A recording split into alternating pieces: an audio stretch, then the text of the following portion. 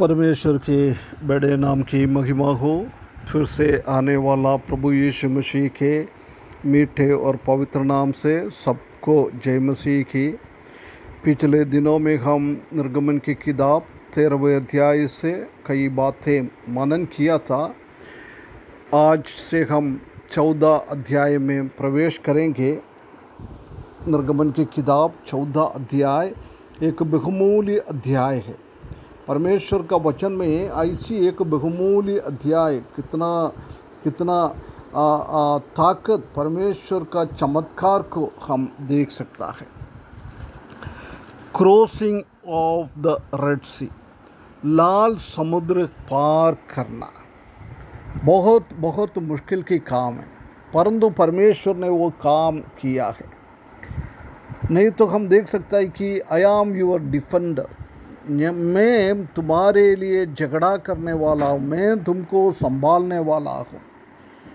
मैं तुमको आगे चलाने वाला हूँ, तुमको संरक्षण करने वाला मैं ही हूँ। ऐसी एक बात हम इस अध्याय में देख सकता है। इस अध्याय को मेनली हम दो भाग में विभाजित कर सकता है। एक से लेकर चौदह पद तक हम देख सकता है कि the pursuit of Pharaoh's army.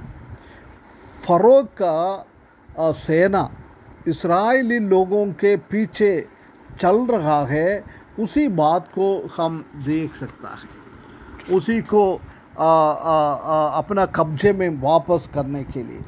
और पंद्रह से लेकर इकतीस पद तक God leads Israel across the red sea परमेश्वर ने इसराइली लोगों को कैसे लाल समुद्र के अंदर से आगे लेके जा रहा है, आगे उसी को मार्गनिर्देशन करता है।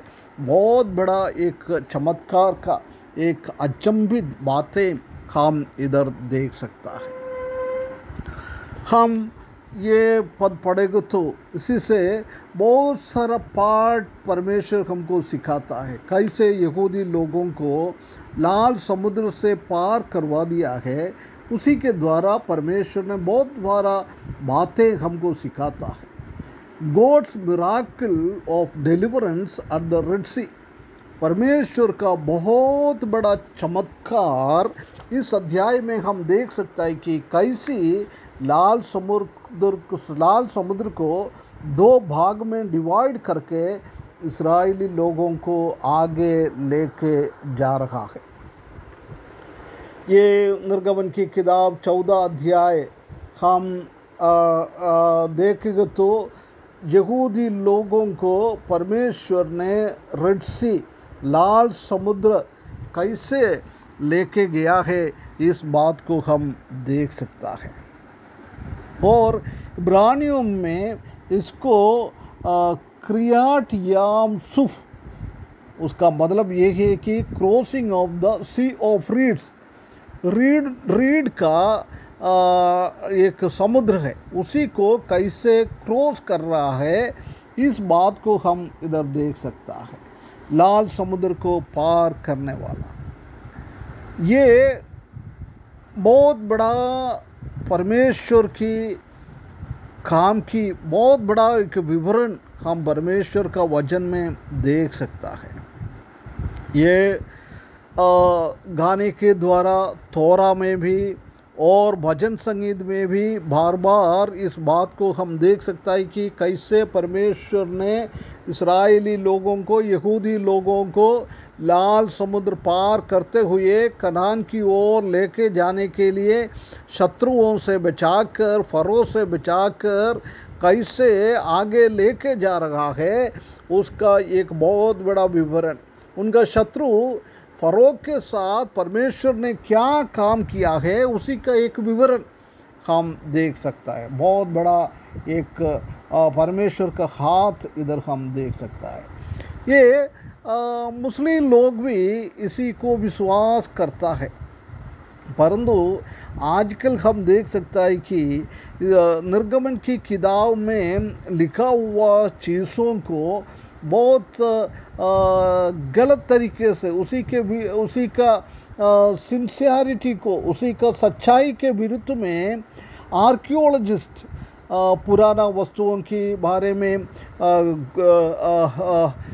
जाँच करने वाला लोग उसी के सत्यसंधता को सत्य को ऊपर वो शंका करवाने के लिए कोशिश करता है हम जानता है कि दुनिया में कितना शासन करने वाला है ये सब परमेश्वर के वायदे के विरुद्ध में और परमेश्वर के वज़न के विरुद्ध में लोगों के हृदयों में शंका डालने के लिए और डाउट डालने के लिए काम करता है परंतु हम देख सकता है कि God never waste a miracle परमेश्वर ने कभी भी एक अचंबा का काम, एक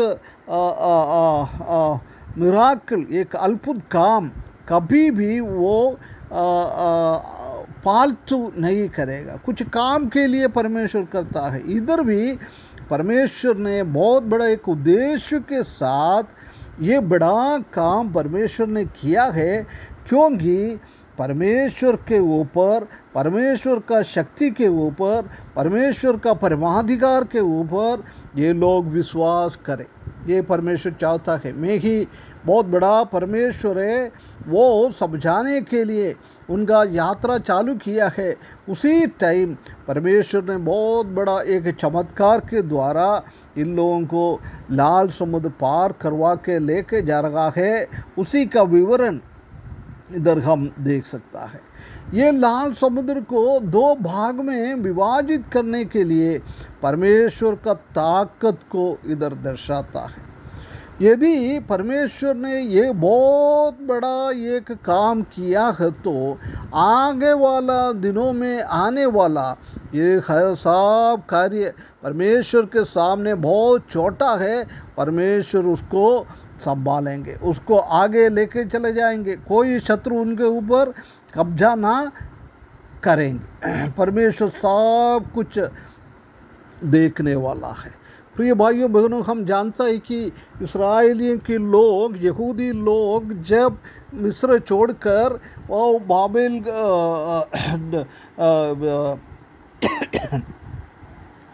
कनान की ओर जा रहा था। उनके पीछे फ़रो का सैन्य है। आ, बहुत बड़ा भल पीछे है। दोनों साइड में बहुत सारा पहाड़ है। चढ़ नहीं सकता है। आगे लाल समुद्र है। उसने सोचा ये अभी मृत्यु है।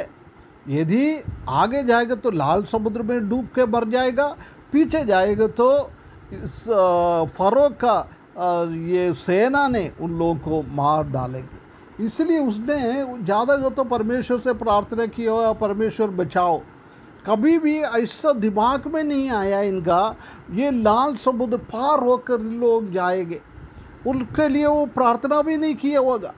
परंतु परमेश्वर ने वो प्रार्थना को, बिना उसने प्रार्थना नहीं किएगा तो भी वो उन्हीं का मन में आया भी नहीं है, ऐसी बात परमेश्वर ने कर कर दिया है। इसलिए एफिशियों की किताब तीन अध्याय बीसवें पद में हम देख सकता है कि हम सोचने से भी और हम मांगने से भी परे परमेश्वर हमारा परमेश्वर हमारा आ, उत्तर देने वाला है परमेश्वर हमारा प्रार्थना को सुनने वाला है बहुत बड़ा चमत्कार करने वाला परमेश्वर को हम इधर देख सकता है। जब हम एशिया की किताब चालीस अध्याय, उसका बारहवें पद में हम देख सकता है कि किसने महासागर को चुल्लू से मापा और किसके चित्त से आकाश को नया नाप, नापा हुआ है। किसने पृथ्वी को और मिट्टी को नपुए में भरा और पहाड़ों को और पहाड़ों को, तराजू में और पहाड़ियों को काठी में तोला है। देख, परमेश्वर का शक्ति कितना बड़ा शक्तिमान शक्तिमान परमेश्वर है। सर्वशक्तिमान परमेश्वर बोलता है उसको सर्वशक्तिमान परमेश्वर है। वो परमेश्वर का शक्ति, वो यात्रा करने से पहले परमेश्वर ने उसको दिखाया है। कितना एक बहुत बड़ी बात इधर हम देख सकता है। परमेश्वर का वो शक्ति, परमेश्वर का वो पावर परमेश्वर का शक्ति उसको दिखाया इसलिए हम देख सकते हैं कि प्रभु यीशु मसीह का जन्म होने से कई साल पहले यशया ने उनको बोल रहा है, वो एक वीर करने वाला, बहुत बड़ा चमत्कार करने वाला परमेश्वर है, वो एक ताकत वाला प्रभु है।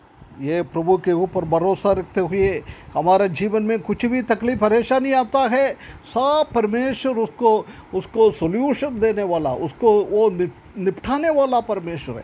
उसी के ऊपर भरोसा रखते हुए हमारा जीवन बिताने के लिए परमेश्वर इस वज़न के द्वारा हमको सकायदा करे, उसके बड़े नाम की महिमा हो।